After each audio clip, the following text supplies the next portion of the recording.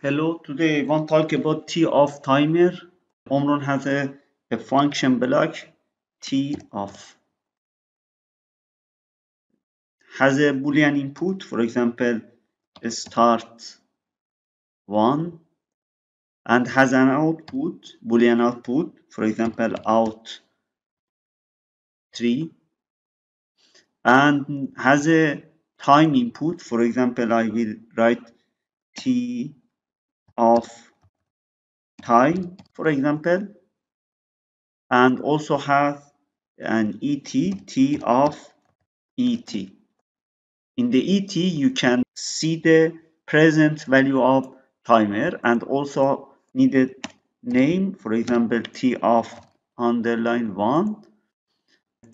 No run a simulation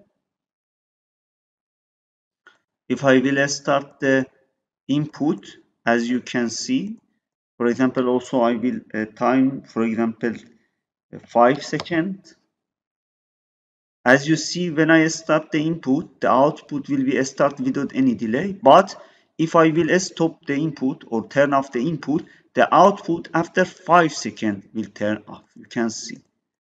Here we have off delay timer. As you see for example one second. Start.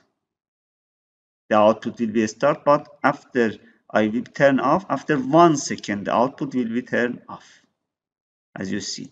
Also here like as a timer TON we can use the uh, name of the function block and after that dot for example q output out 4 for example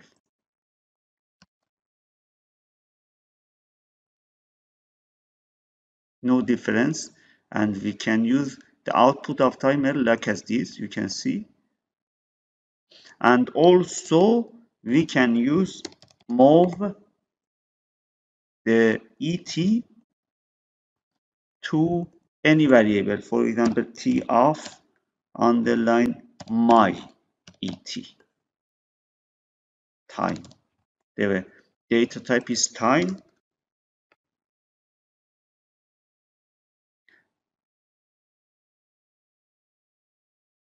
for example 10 second I will start the output will be start and you see uh, the ET or present value is zero.